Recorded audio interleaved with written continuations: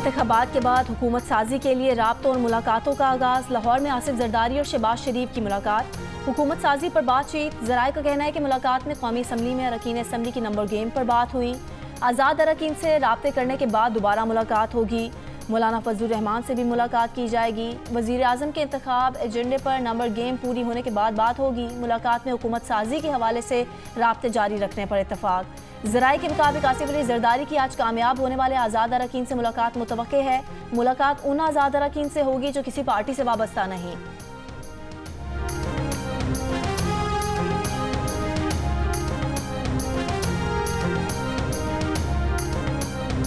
नवाज़ शरीफ ने मरकज और पंजाब में मखलूत हुकूमत बनाने का इरादा ज़ाहिर कर दिया। पार्लिमान में मुंतब होने वाली तमाम जमातों और आज़ाद हैसियत से मुंतब उम्मीदवारों को मिलकर हुकूमत बनाने की दावत दे दी।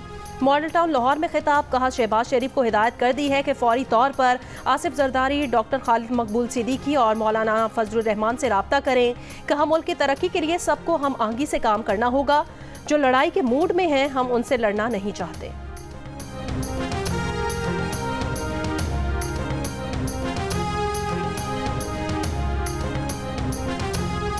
इंतबात में आज़ाद उम्मीदवारों की कामयाबी के बाद पिशावर में पी टी आई का इजलास तलब बैरिस्टर गौहर असद कैसर, अली मोहम्मद और दीगर शरीक होंगे।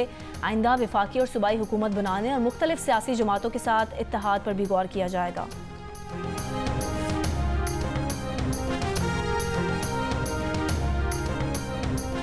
कौमी असम्बली में आज़ाद उम्मीदवार सबसे आगे। कुछ देर पहले के नतज के मुताबिक दो सौ पैंसठ में निन्यानवे नशस्तें जीतनी, इकहत्तर नशस्तें जीत कर नून लीग सबसे बड़ी पार्टी। पीपल्स पार्टी की तिरपन नशस्तों पर कामयाबी एम के एम पाकिस्तान को कराची और हैदराबाद से सत्रह नशस्तें मिल चुकी। मुस्लिम लीग काफ ने तीन नशस्तें हासिल कर लीं इसकाम पाकिस्तान पार्टी और जमीयत उलमा इस्लाम फे की दो दो नशस्तें। बी एन पी और मुस्लिम लीग ज़िया की भी एक एक नशस्त। मस्जिद वादतुलमसलिमिन ने ज़िला कुरम से एक नशस्त हासिल कर ली।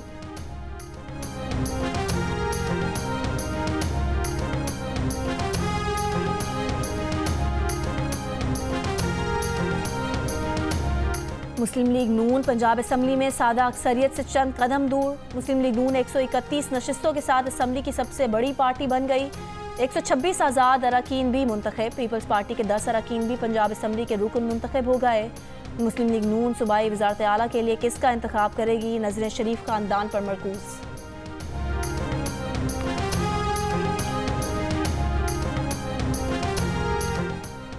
सिंध असम्बली की 130 नशस्तों के नतज मुकम्मल पीपल्स पार्टी ने चौरासी नशस्तें हासिल करके असम्बली में बासानी सादा अक्सरियत हासिल कर ली। एम क्यू एम ने सिंध असम्बली में आए अट्ठाईस नशस्तें हासिल की। चौदह आज़ाद उम्मीदवार भी सिंध असम्बली में मौजूद जी डी ए और जमात इस्लामी की दो दो नशस्तें। खैबर पख्तूनख्वा असम्बली की 113 में से 111 नशस्तों के नतज सामने आ गए। अब तक नब्बे आज़ाद उम्मीदवार कामयाब हो चुके।